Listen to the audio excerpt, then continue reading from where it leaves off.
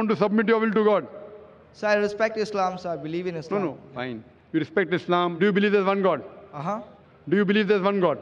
Yes, I believe in God. You're number one. Baby, you can call me a superman. Chochote utataka nitakupa man. Hey guys, welcome back to our channel. It's your girl Fanny Lungu back with another reaction video. If you're new to this channel, make sure to give this video a thumbs up, share it with your friends, and of course, do not forget to subscribe. Like I said, my name is Fanny Lungu, and other than doing reactions, also do other things, and you can find the links to everything that we do in the description box below. So today, as you can tell from the title, I will be reacting to why are Shia Muslims given less importance by other Muslims.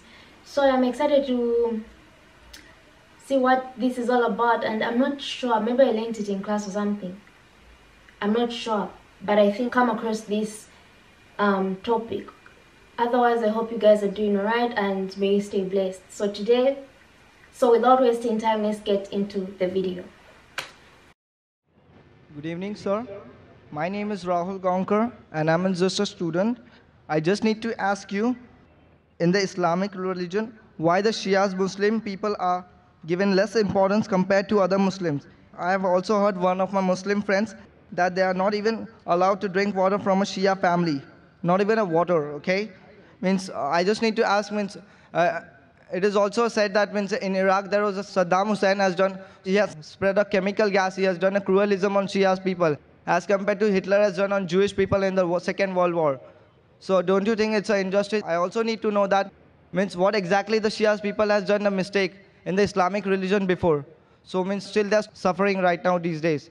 The brother asked the question that why are Shias considered inferior and what mistake they have done? Why Saddam Hussein killed them like Hitler has killed Germany with chemical weapons, etc. Brother, in Islam there is no Shia Sunni. There is no Shia Sunni in Islam. I'll give the answer. I'll give the answer. I'll give the answer and then you're most welcome. In Islam, there is no Shia Sunni. What Quran says in Surah Al-Imran chapter 3 verse number 103 wa tasimu bihablillahi jami'a wa la tafarraqu. Hold to the rope of Allah strongly and be not divided. We have to hold to the rope of Allah the Quran and the teachings of the prophet the Sahih hadith. If you hold to them then you're a true Muslim. There is no Shia Sunni in Islam and there's no sect in Islam. The Quran says in Surah Anam chapter number 6 verse number 159 O prophet anyone who makes division who makes sects in the religion of Islam you have nothing to do with him Allah will look after their affairs on the day of judgment. And our beloved Prophet Muhammad said that there will be 73 sects in Muslim. Out of that, only one will go to Jannah. The Sahabas asked, which one? Those who follow me and my Sahabas. Those who follow Quran and the authentic teachings of the Prophet. So, the Quran says, don't make sects. A prophet said, even though the Quran says, there will be some people who will make sects. How many? 73. The one who will be on the true path is one who doesn't make sects. So anyone who calls himself anything besides Muslims, the word is Muslim. Muslim means a person who submits the will to God. What was the Prophet? Was he Shia? Was he Sunni? What was he? He was Muslim. And the answer I gave to the earlier sister of Surah Al-Imran, chapter 3, verse 64, it says, Fakulu Shadu Bianna Muslimun. We bear witness that we are Muslim. If you want to judge whether the Muslim is right or wrong, what do you do? You check with the Quran. Let him call himself Muhammad, Zakir, Sultan, Abdullah, no problem. You check it up if he's following the Quran and the authentic teachings of the Prophet. Bukhari, Muslim, authentic teaching, he's a true Muslim. If he goes against the true teachings of the Prophet, the Sahih Hadith of Bukhari, Muslim, and all the other Sahih Hadith, and goes against the Quran, he's not a true Muslim. A true Muslim is a person who follows the Quran and the authentic teachings of the Prophet Muhammad. So when you come to know, let him call himself anything. If he does not follow the Quran and does not follow the authentic teachings of the Prophet, he is not a true Muslim. Regarding the second part of the question, Saddam Hussein. Saddam Hussein not in the question. It is in the question, na? Ah. Saddam Hussein. Saddam Hussein killed Shias. Brother, I don't know whether he killed Shias or not. The media says. But whether it be Saddam Hussein, whether it be Hitler, whether it be George Bush, anyone kills any innocent human being, Leave aside Shia Sunni. Even if we kill innocent Hindu, innocent Christian, innocent Jew, it is a big crime. Let it be Saddam Hussein, let it be George Bush, let it be Hitler. Anyone who kills any innocent human being, whether Muslim or non-Muslim, whether it be Hindu, whether it be Christian, whether it be Jew, anyone kills any other innocent human being. If he's done it, it's a sin, it is prohibited. I am not here to protect anyone. Let his name be anything. George Bush, Hitler, Sultan, Abdullah, Tom, Dick, Harry, anyone. If anyone kills any innocent human being, it is prohibited. Hope that answers the question. Sir, it means you want to say that we should not believe in this Shias, Sunnis, or Bori Muslims, sir. I am not saying that. Quran, there's no Shia Sunni in the Quran.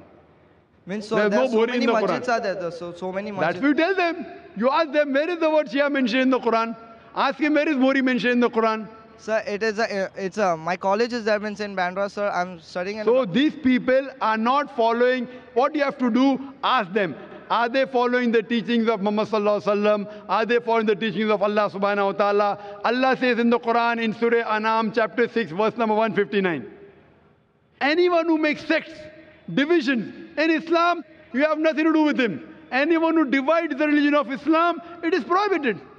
So if you have to be a good Muslim, you have to hold to the rope of Allah, that is the Quran. So just by calling someone Abdullah, Sultan, whatever it is, will not take you to Jannah, but following the teachings of the Creator Almighty God and following the teachings of Prophet Muhammad peace. Brother, I would like to ask you a question. Yes. I have a question. You are so much bothered about Shia Sunni. I want to ask you why. Sir, there are so many my friends No, are no. Do you want to join Islam and then you're thinking what to take? Sir, means I'm asking you the question. Yeah. Means, Do you want to come to Islam and you're thinking, should you join Shia or Sunni? Sir, no, I'm. No. mean, not there are so many, sir. There are so many religions are there. Means in Islam there are so many sections of religions. There's no section in Islam. Uh-huh. Islam, there is only one Muslim. Whoever told you Uh-huh. did not tell you what Quran says. I'm giving you reference. So the person is told me she, he was a Sunni. He told me that. Let him be Sunni, let him be Shia, let him be Bori, anyone. Uh-huh. Tell him Quran says don't make sects. Chapter number six, write it down. It means this Chapter is all number absurd. six. So it means this is all absurd. He is not following Quran. Quran says Surah Anam chapter 6 verse number 159. Note it down. The Dr. Zakir Naik said Surah Anam chapter 6 verse number 159. That don't make sects. What you have to do is you have to submit your will to God. Now I want to know brother, do you want to submit your will to God? Brother, Uh huh. do you want to submit your will to God? So I respect Islam. So I believe in Islam. No, no, fine. You respect Islam. Do you believe there's one God? Uh huh. Do you believe there's one God? Yes, I believe in God. Do you believe idol worship is wrong? Uh huh. Do you believe that God has got no idols? God has no idol. Do you believe that? I don't know, sir. Do you believe in idol worship? Uh huh. Do you believe in idol worship? Yeah. Idol worship is right or wrong? Means to God. No. Do you believe that worshipping an idol is right or wrong? Yes. It is right or is it wrong? It's right, sir. Doing idol worship. But that's against your Vedas. Your Veda says you should not worship anyone but one God. It's mentioned in your Yajurved, chapter 32, verse number 3. Sveta Sveta Upanishad, chapter number 4, verse number 19. Na tasya pratima asti. Of that God, there is no pratima, there is no image, there is no photograph, there is no painting, there is no idol, there is no sculpture, there is no statue. I'm asking you a question. When your Veda says God has got no image, no statue, no idol, do you yet believe in idol worship? Yes, Sir. So leave aside Shia, Sunni. I'm asking you, are you following your Veda? Yes, sir. Are you following or not? Are you following? So because I'm from that religion, sir. Correct. So So it I'm is not my about mistake, sir. I'm born in that religion, sir. if you are brought up in that religion, I am asking you, isn't your duty to study? That's Your why I'm researching on this subject. Therefore, I'm asking you, brother, that in your scripture Veda, Yajurved, chapter number 32, verse number 3, Sveta Svetara Upanishad, chapter number 4, verse number 19, it says, Na tasya pratima asti. It's a Sanskrit quotation, which means Almighty God has got no pratima, no image, no photograph, no painting, no sculpture, no idol, no statue. If your scripture says Almighty God has got no idol, then doing idol worship is right or wrong? Right or wrong? Such a big person to decide this that it's a right or wrong. No, but if your scripture is saying God has got no image, no photograph, no idol, no statue, then making a statue of God is right or wrong? So my my previous person means my Purvaj has done this, so so I cannot blame on them, sir. Sorry? My Purvaj, my previous the the Hinduism people has done this, so I cannot blame on the. I'm not asking Hindu people. I'm asking you the question, your scripture, which is the most authentic scripture in your religion? You don't know. What, Do you know? Which is the highest scripture in your religion? So It is Vedas.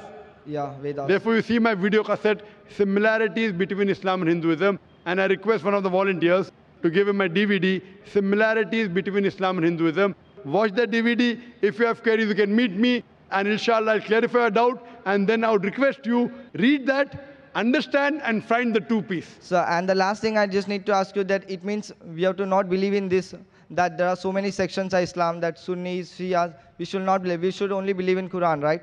Quran and the authentic sayings of Prophet, that's it. Any scholar says anything. Quran says in Surah Nisa, chapter number 4, verse number 59, Atiullah, Rasul. Obey Allah and obey the messenger. And continues, and those who have been given the authority for command, those who have charged with affairs, that means you have to follow Allah, Almighty God, His messengers, and those who are knowledgeable. But the verse does not stop there. It says, if they differ, if the people of knowledge differ, go back to Allah and His Rasul. If someone tells you something, you verify from the Quran and the authentic hadith whether it's right or wrong. Just because any scholar says anything, it carries no weight in Islam. So that Our thing is Allah, Almighty God, and the Messenger. If any scholar says something, if it matches with Quran and say Hadith, you accept it. If it is against Quran Hadith, you reject it. So Just by person saying he's a Muslim, you have to tell him, Qul hatu burhanakum, produce your proof in sadiqin, but if you're truthful. That's the reason. Whenever I give answer, I give you references from the Quran and say hadith. What I'm saying, what Dr. Zakir Naik says, is zero in Islam. It carries no value. What I say in Islam is zero. Nil. What Quran says, what Almighty God says, what our beloved Prophet Muhammad says, that carries weight. So what I'm giving, I'm giving references. Person who does not know, I'm giving references. My answer is based on this teaching of the Quran, these verses. My answer is based on this teaching of the Prophet, Sahih Bukhari, volume number so and so, etc., to give proof. So what they say carries weight, what I say carries no weight. Hope that answers the question.